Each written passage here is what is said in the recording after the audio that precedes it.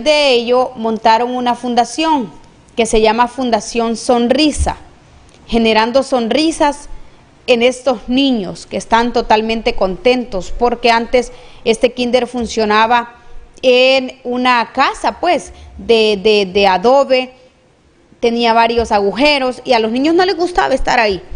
Y eh, se hizo este, este kinder, miren, moderno, con cerámica, se les dotó también de, de mobiliario y también de, material didáctico, que será muy bien utilizado por los niños y que los maestros están sumamente contentos por esta, por esta eh, inauguración que ahora los niños pues ya van a estar en, en instalaciones modernas. Y algo importante, Puscas, es que fíjese que ahí el clima es delicioso, ahí no ocupan aire acondicionado, más bien los niños deben andar con su abrigo porque hace bastante frío.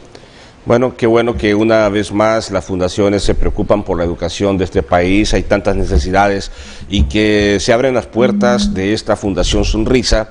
Eh, conocemos a Carolina, pues eh, hermana también de otras como Carlos y también eh, otros amigos que han estado involucrado en estas fundaciones y Don Quique pues les ha inculcado esa, eh, eh, ese espíritu de ayudar a los demás necesitados. Qué bueno, ¿verdad? Que en Astapia se pudo lograr esta construcción de este kinder, donde Solange pues destacó varias cosas y ahí no se bailó reggaetón, Solange. No, fíjese que yo estaba esperando, ¿verdad? El, el, el guion, ¿verdad? De este programa, pero no, los niños, me gustó algo, que cantaron este, música folclórica, música de Honduras y eso lo voy a destacar y le voy a decir a los maestros que aprendan de esta escuela.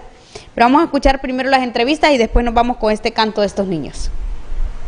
Pues ella regresó, ya graduada y todo, conoció a un buen amigo del, del, hijo de mi hermana, ¿no? Total que se casaron. Ellos estuvieron viniendo acá y me decía ella como al segundo viaje que el marido, que se llama Fran Bros, se había impresionado muchísimo acá con, Honduras, sobre todo con la niñez, y que querían ellos que algo tenían que hacer. Posteriormente me dicen, papá, hemos decidido hacer una fundación y ayudarle exclusivamente a kinders y escuelas, porque siempre hemos creído, y esa es una, es una realidad, entre más educación tiene un pueblo, más se supera. Un pueblo sin educación no puede salir adelante jamás. Don Enrique, ¿y cómo surge esta iniciativa? Este, ¿Cómo se dan cuenta ustedes que existe la necesidad en esta comunidad? Mire, empezamos en Choluteca. Le quiero adelantar esto. Eh, con este proyecto son 19 proyectos los que hemos realizado. En San Marcos de Corón ya van 12 y en Choluteca 7. Entonces empezamos, ah, había un contacto acá y nos empezamos con una escuela que lleva el nombre del papá de Quintín Soriano. Entonces ese el fue el primer proyecto de nosotros. Pero ahí se regó la bulla, pues, y yo vine aquí a San Marcos de Colón a visitar un buen amigo que es eh, Rafael Mendoza. Le conté mi proyecto me ayúdenos acá y me llevó acá a la escuela de Francisco Marazán del Esfuerzo y un kinder. Entonces ahí empezamos con ella, ahí se regó la bulla y ahora más bien tengo una cantidad de solicitudes increíbles. Y aquí, don Enrique, al igual que en otros proyectos, pues se hace un trabajo de calidad. Ah, sí. Nosotros todo lo que hacemos es de primera. Las que usted ve, las canaletas son de primera. El, el, alucín también. Entonces no usamos ah, material que no sea galvanizado para que sea eterno. Eh, la cerámica, o sea, nosotros no andamos buscando eh, cosas baratas para construir sino de calidad. En, alguna de estas inauguraciones ha estado su hija junto al esposo. ¿No han tenido la oportunidad de Solamente en las primeras, cuando inauguramos, en el, fue en el Limón de las Cercas, la escuela que lleva el nombre del papá de Quintín. ¿Y van a ustedes a continuar con esta iniciativa pues de, del esposo de su hija y su hija también? Sí, eh, pero lo importante es que cada día la fundación crece un poquitito más, porque no es una fundación con mucho dinero. Eh, el dinero que, que, se, que se invierte acá es por actividades de la directiva, que pasan haciendo actividades constantemente, ¿no? Entonces, eh, Depende de la cantidad que se haya conseguido, pues así trabajamos. Pero vamos a seguir. Yo tengo mucha fe porque eh, veo que la fundación va creciendo un poco más. Entonces vamos a, ir haciendo cada vez eh, que la Fundación que vamos a ir haciendo proyectos mucho más grandes. Sonrisa se ha hecho presente en esta comunidad de las tapias del municipio de San Marcos de Colón, donde los niños van a poder tener sus espacios pedagógicos adecuados para una educación de calidad. Les agradecemos a, esas, a los que nos colaboran, ese noble corazón, que sabemos de las necesidades que hay en los centros educativos. Gracias, muy bendecido de parte de Coordinación General. Un saludo a todos los docentes del programa hondureño de educación comunitario que sabemos, la licenciada Eva, del empeño que ha puesto en este centro educativo, pues hoy es el reflejo que podemos observar de la, gestión de ella, ¿verdad? Gracias también a la Dirección Municipal de Educación, como lo es eh, Fundación Sonrisa también, que dirige el amigo Enrique Huele, pues gracias decirles que, que qué más podemos darle un regalo a los niños y niñas, puede ver el contento, la sonrisa de cada uno de ellos, donde en 2020 vamos a estrenar, vamos con pie derecho, así les digo yo a ellos, y esa sonrisa que dibujan ellos en su rostro. Eh, profesor, ¿cuántos eh, kinder proeco hay a nivel de la región sur? A nivel de región sur tenemos 65 centros de prebásica en, en los diferentes municipios del departamento. Estamos en los 16 municipios, ampliamos cobertura ahorita este año, se van a aperturar dos jardines más, gracias a Dios por la gestión de, de los promotores en gestión educativa. Y esa es nuestra meta, ampliar cobertura, lo que es en prebásica, básica y tercer ciclo. Muchas gracias. a trabajar aquí en una aula prestada de la Escuela 7 de Abril, donde no contábamos con los espacios pedagógicos adecuados para los niños.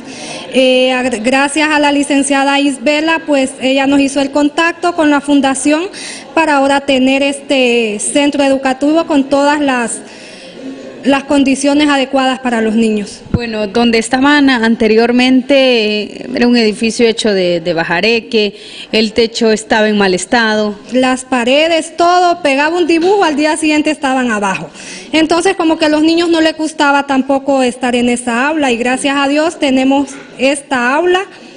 Felices todos. Equipada. Equipada, nos acaban de donar material para los niños que ellos van a necesitar durante todo el año. ¿Cuántos alumnos tiene, profe? Tengo 19 alumnos. ¿Entre niñas y niños? 13 niñas y 6 varones. Bueno, hoy están contentos porque... Algún día cualquiera doy razón. Hoy a todos yo pregunto si conocen mi nación. En Honduras, en Honduras, noble cuna de Francisco Morazán. En Honduras, Noble cuna de Francisco Morazán. Dios escogió entre las joyas más finas a las que Honduras debía de llamar y la guardó entre un joyar de colina, igual que un tesoro debía de guardar. No hay otro pueblo más macho que el pueblo catracho del cual vengo yo. No hay otro pueblo más macho que el pueblo catracho del cual vengo yo. Es mi Honduras, mi tierra querida, la más hermosa bolefira la dio.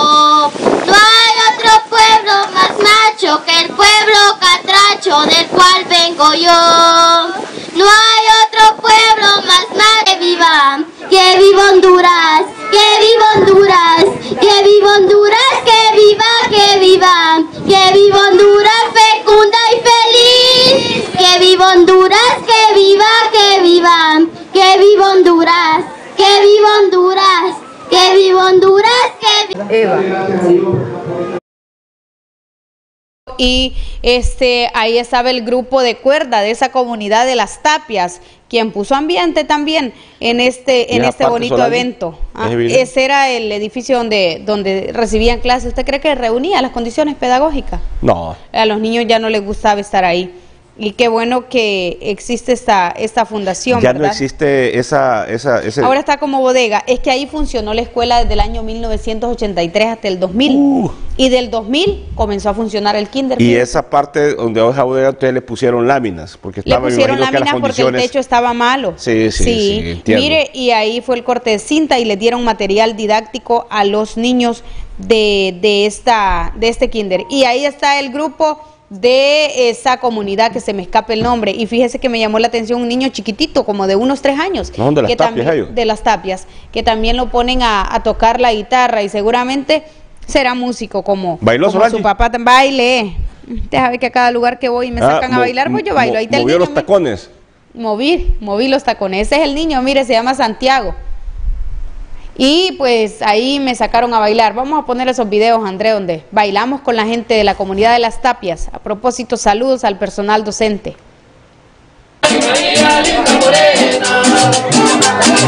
a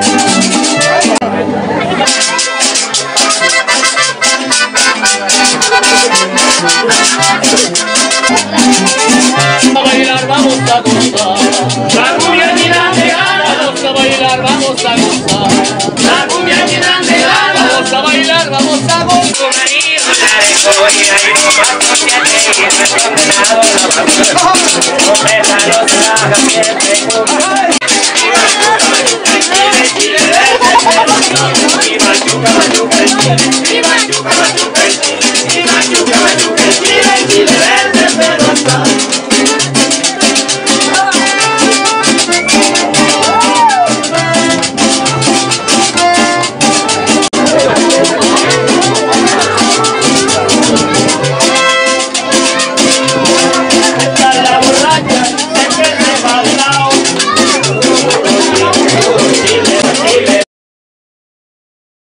el chile con el viejito, ¿verdad? Pero está otro video de otro señor también que quería bailar conmigo. Bueno, la esposa me dijo, yo quiero que baile con mi esposo, me dice. Ella es una maestra de San Marcos de Colón que dice que es fiel televidente también de Se armó Metro la TV. fiesta, se Se armó, armó la, ahí. fiesta. El tungui tungui. Sí. Veamos el otro video, André. Ahí está, mire. El sapito le gustará, el sapito lo aprenderá. Un sapito y otro sapito en el fondo de la tierra. Un sapito y otro sapito en el fondo de la tierra. Lo bailan y no lo cantan, síguelo bailando una vez más.